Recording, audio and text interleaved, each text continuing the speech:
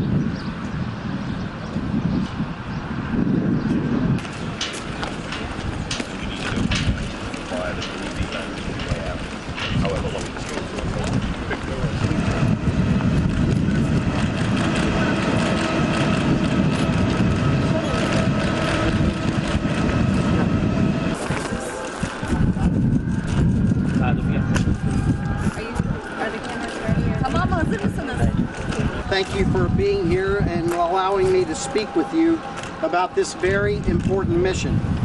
It's truly a pleasure to be back and to visit the troops here. This is the best part, frankly, about my job. First, I would like to thank Turkey for being wonderful hosts for the past few days as I met with Turkish leaders and other foreign ministerials at, the, at our recent uh, two-day visit and the stability of this region.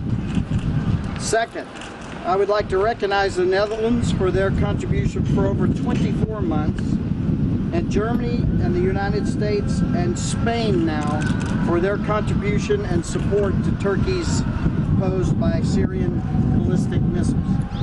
The deployment of these forces at the request of the Turkish government is about NATO's core mission, the protection and defense of our members. So the Patriot batteries that are here at Kahramanmaras at Gaziantep are designed to protect a specific area, and that is the area that these Patriots are now covering. And so those missiles fell outside of the area that our Patriots are planned to. Right now, we have seen uh, almost all of the Patriots, or almost all of the missiles fired inside of Syria, have been aimed inside of Syria. And we believe that only those missiles that have come across were a mistake as far as their, uh, where they were intended to hit. It's very clear to us from the pattern of where they're launched and where they're hitting in Syria that the target areas are all in Syria, and it was probably errant firings that ended up coming across the